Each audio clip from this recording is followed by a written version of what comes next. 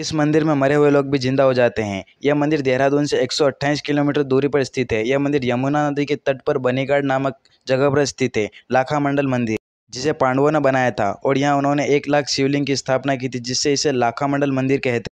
ऐसी मान्यता है कि मंदिर में अगर किसी शव को इन द्वारपालों के सामने रखकर मंदिर के पुजारी उस पर पवित्र गंगाजल छिड़के तो मरा हुआ आदमी कुछ समय के लिए ज़िंदा हो जाता है। ज़िंदा होने के बाद भगवान का नाम लेता है और उसे गंगाजल ग्रहण कराया जाता है। गंगाजल ग्रहण करते ही फिर वह आत्मा उसके शरीर को त्याग देती है। इस बात का रहस्य आज तक कोई नहीं जान पाया है। बाकी जय श्री राम।